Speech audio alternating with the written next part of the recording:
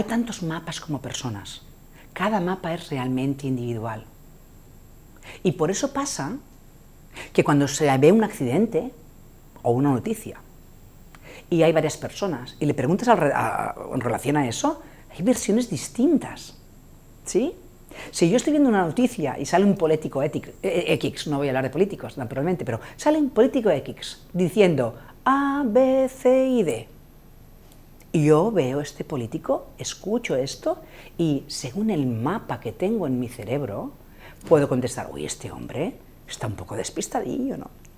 Y en cambio una persona sentada a mi lado, íntima amiga mía, pero una persona que adoro muchísimo, el mismo político, estamos viendo la misma noticia y el mismo político dice A, B, C y D y ella puede decir, caray, este hombre sí que sabe.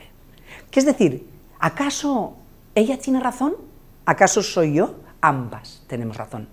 Porque lo que hacemos nosotros es enfocarnos e interpretar lo que dice en función al filtrado que hacemos desde nuestro mapa. Por eso tan importante conocer mi mapa para saber qué partes del mapa he de cambiar y qué partes no, y conocer el mapa del otro para poder influir si es que es necesario. Sigo con el mapa, no me he ido a ninguna parte con el mapa, que hay una parte que quería destacar. Creo que te ha quedado claro, al menos la, idea de que es interesante que conozca mi mapa. Fíjate que Richard Mandler dice una cosa interesante. Cuando un cliente va a un terapeuta, a un coach, a un asesor de PNL, y el cliente mejora su vida, cambia el problema que tenía, o vamos, que la terapia o el proceso le va bien. ¿Es que el terapeuta, el coach o el asesor le ha cambiado la vida? No. ¿El coach, el terapeuta, le ha devuelto su fabulosa relación sentimental? No. ¿El coach, el terapeuta, le ha devuelto al trabajo? ¿Mm? ¿Le ha subido el sueldo? No. ¿Ha hablado con su jefe? No. ¿Qué hace realmente? Cuando un proceso de cambio va bien, es porque el cliente cambia la percepción de su realidad. Cambia la percepción y la respuesta que tiene con relación a la realidad. Acuérdate de los molinos. Si no puedo impedir el viento, puedo construir molinos. Y aquí se trata de construir esos molinos. Es decir, no cambiamos el territorio. Cambiamos nuestra percepción del territorio. Por eso a mí me gusta mucho hablar, sobre todo con los alumnos que duran tiempo en los cursos.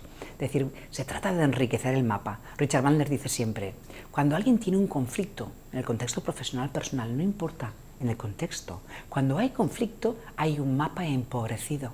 Y es porque la persona, con ese foco más limitado de la realidad, es la que han visto parcialmente una parte, han puesto el foco en las cosas no convenientes y han dejado en la oscuridad cosas que podrían ser convenientes. Y todo es porque literalmente las cosas no caben todas en tu cerebro. Quiero llamar tu atención sobre una información que, bueno, ya te he dicho antes, ¿no? Creo que yo no soy científica, ni neurocientífica, ni me gustaría, pero no lo soy. Con lo cual, cuando yo voy a dar estas cifras, estos datos, me alimento de lo que libros que leo, de autores reputados, de blogs y de comunicaciones en internet reputadas, pero que me llevan mucho a la confusión cuando van a hablar, cuando voy a hablar de lo que te quiero hablar ahora. Fíjate que a tu mente llegan por segundo millones de bits de información. Millones. Fíjate que ahora quiero que te centres en las cifras. Yo he leído bueno, fíjate, antes de, venir aquí he pensado, vuelve a repasar estas cifras porque no me acabo de creer. Un libro que es muy conocido, de un autor muy conocido, dice, llegan 2.000 millones de bits de información por segundo a tu mente. 2.000 millones de bits de información. Bueno, yo mis cursos decían que era 4.000 millones porque lo había leído, porque creía que Joe Dispensa, que es un autor en el que tengo mucha confianza, habla de, de 4.000. Pero es que lo he vuelto a revisar y es que no son 4.000, dice son 400.000 millones de bits de información. Fíjate que si ahora de 2.000 millones de bits a 400.000 millones de bits, hay un salto cuántico realmente, es decir, es brutal, pero no quiero que te enfoques en esa diferencia, sino en otra que te voy a decir.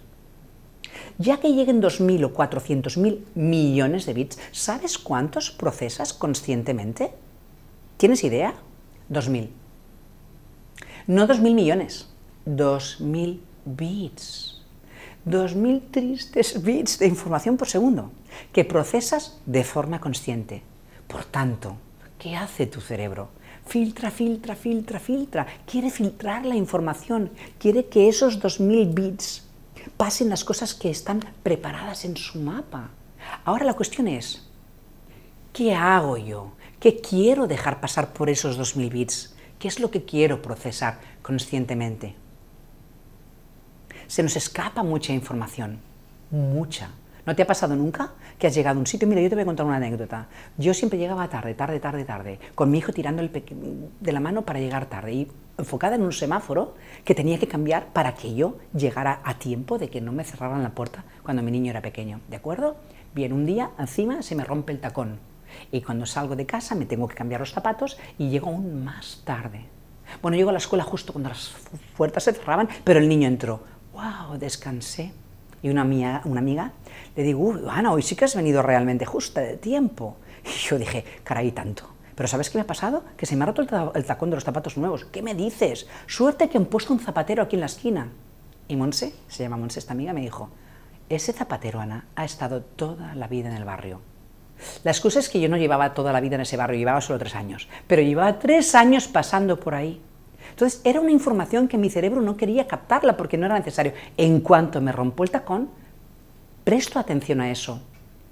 No sabes cuando, ahora si hiciera la broma sobre comprarte un móvil ya es muy aburrido, pero cuando nos queremos comprar algo que es un poco más caro, un coche, los chicos lo suelen mirar mucho, ¿no? El modelo A, en el color B, por internet, en este, en este concesionario, en el otro, y de repente ese coche que parecía que iba a ser no sé qué, solo había esos coches en su ciudad. Cuando una chica, una mujer está embarazada, de repente medio mundo se embaraza.